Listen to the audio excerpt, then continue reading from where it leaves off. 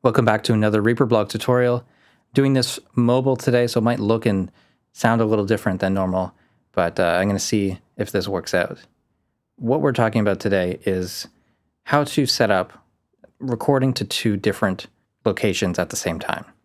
The internal drive and an SD card in this situation. That could be two external drives, that could be an internal and an external drive, USB stick, uh, any of those sorts of options in any combination. Can have up to two recording locations uh, recording simultaneously in Reaper. Before we get any farther, we got to save this project. So I'm just going to save, and I'll save into my mobile projects folder. And we'll call this, uh, I don't know, test, test recording.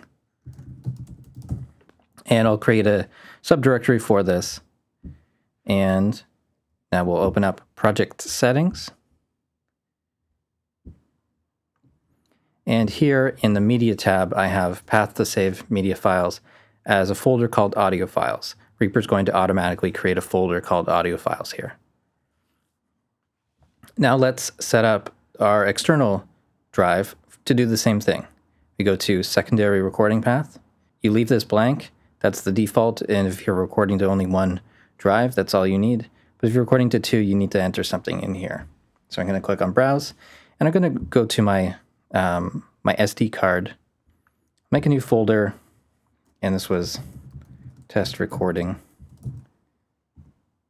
And uh, yeah, we'll just go here and click OK. You might think that's all you need to do, but there's one more step that you need to do first. You need to select the track, right click on the track recording button, and go to track recording settings which brings up this window. Maybe you've seen it before, maybe not.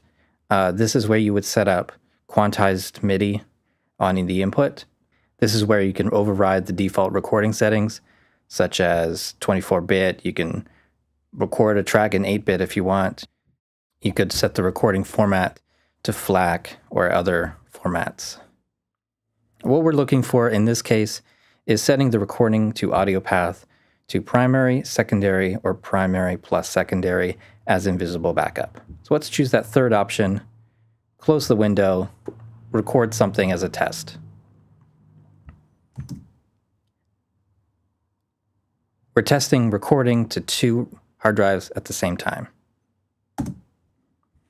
Obviously, I had no idea what I what I was going to say. I froze up as soon as we started recording. But uh, let's look in Finder so we'll go to first the documents folder, Reaper Media, projects, test recording, audio files, and there is the first recording uh, done just now from this track named one. Go to my H5 test recording, and there's the same file, and we can import that in on a new track, line it up, and it's going to be exactly the same. So Reaper's just saved this file to two locations at the same time. And this is great for a backup.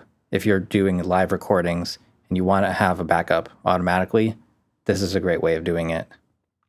As far as I know, it doesn't take any additional overhead, but maybe that's something you want to test in mission critical sort of situations. This is great just to have a backup in case one hard drive goes down during the recording, you automatically have a backup on a separate drive. This also saves you time uh, copying at the end of the day to a second drive. So all the big audio files will be moved automatically, but you will need to copy any small files, like the project file. I hope this video looks okay and sounds okay. I'm recording this mobile today uh, just as a test of the system. It's a new system for me. And that's it. Thank you so much for watching. Please subscribe to this channel if you haven't already. Follow me on Facebook and Twitter. Support the Reaper blog through Patreon. And visit reaperblog.net for a lot more tutorials.